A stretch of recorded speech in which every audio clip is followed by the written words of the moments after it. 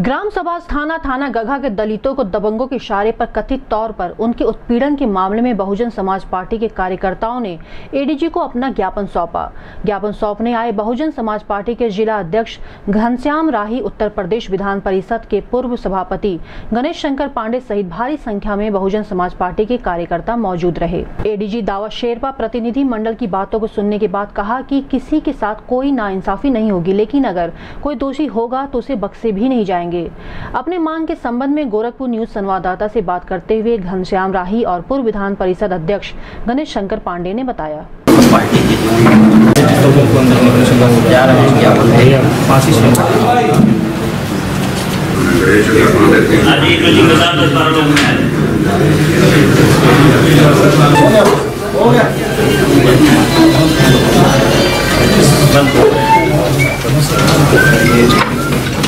को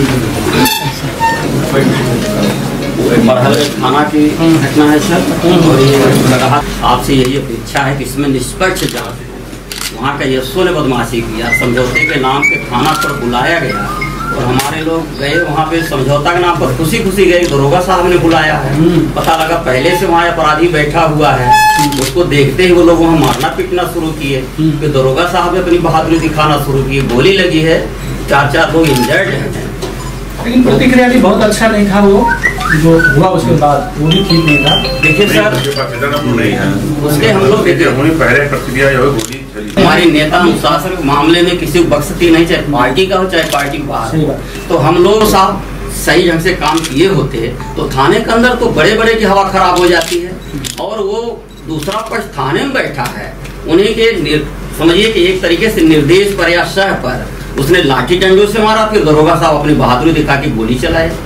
नहीं हो सकता। ये इस घटना से नुकसान होता है। और थाने में सर थाने में तो हम लोग चाहते हैं कि कानून का राज हो।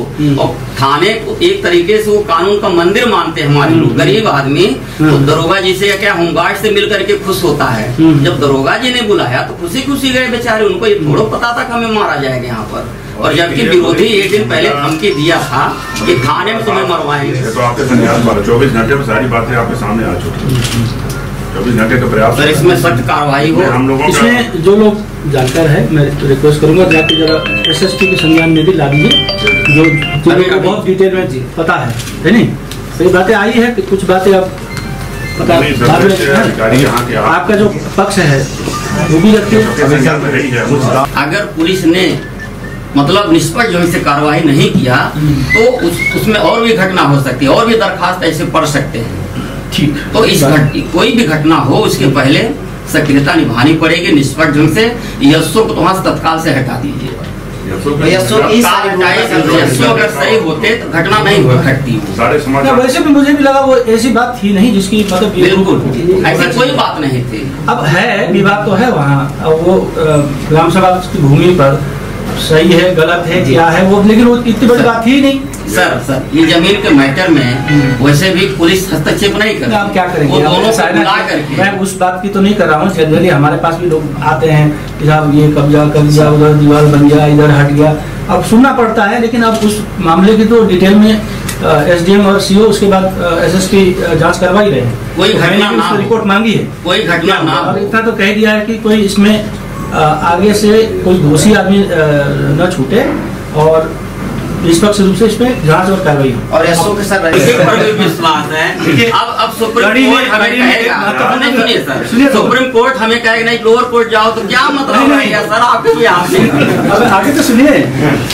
फिर समाप्त हो गई। सर, ऐसे चल सर घटना को और मतलब देख लो उसमें कार्रवाई बिल्कुल सही हो जाँच बिल्कुल निष्पक्ष हो है ना? जो हुआ वो अच्छा तो नहीं हुआ लेकिन अब इसका ये भी नहीं कि निर्दोष कहीं पीछे जाए इसमें। ठीक है ना? हाँ अभी बात कर लो। और कुछ ऐसो की भूमिका के बारे में भी कह रहे हैं जरा बता रहे क्या है? है। ऐसो तो तत्काल प्रभाव से हटा है आप लोग थोड़ा आगे बढ़िए।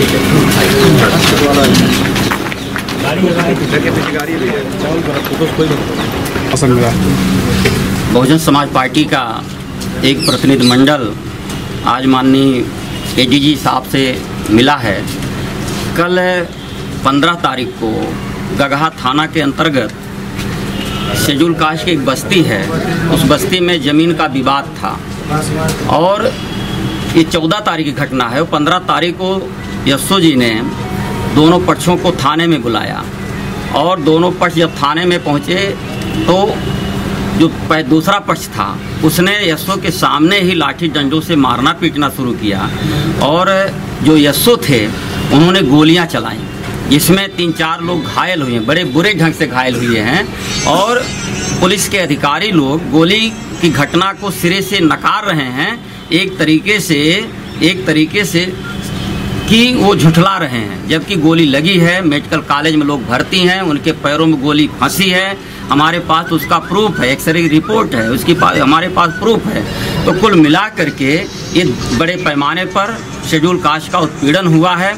हम लोगों ने मांग किया है इस घटना की निष्पक्ष जाँच हो और जो भी दोषी है उसके खिलाफ सख्त सख्त कार्रवाई हो और इसके पहले थानाध्यक्ष को निलंबित करके वहाँ से हटाया जाए। तभी न्याय मिल सकता अन्यथा न्याय नहीं मिल सकता है।